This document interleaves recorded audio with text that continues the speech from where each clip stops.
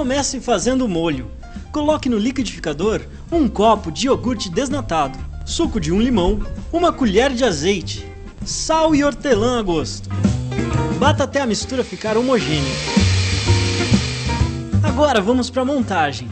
Em um pote de vidro, coloque o molho e comece a montar as camadas. A primeira é de pepino cortado, depois acrescente a cenoura ralada, o milho, tomate cereja, o palmito picado e por último, finalize com alface e rúcula cortados em tiras.